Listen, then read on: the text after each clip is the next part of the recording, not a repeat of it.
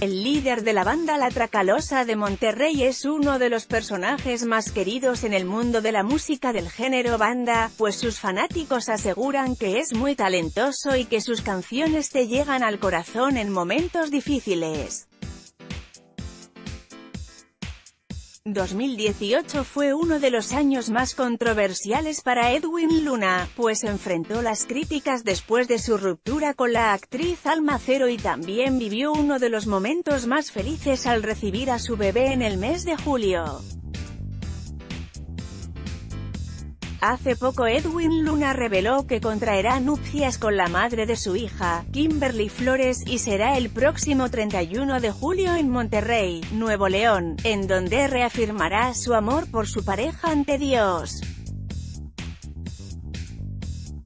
El cantante aprovechó para revelar algunos detalles sobre su costosa luna de miel, y en una entrevista para la revista People en español, el líder de la Tracalosa de Monterrey aseguró que Kimberly se quiere ir el día después de la boda, pero él la está convenciendo de que se vayan a su luna de miel algunos días más tarde.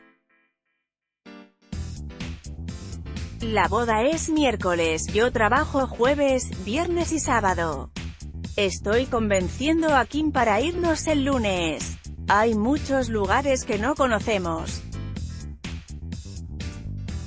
Edwin Luna también comentó que Kimberly él quieren conocer Dubái o Japón, dos lugares bastante exóticos y caros para viajar, lo que revela que no escatimarán en gastos y que se la pasarán muy bien en su luna de miel. Seguidores del cantante aseguraron que echarán la casa por la ventana y les dejaron sus mejores deseos para su matrimonio. ¿Qué opinas de esto? Con información de TV Notas y Publinius anímate a comentar. Queremos saber tu opinión. Comentarios Powered by Facebook Comments.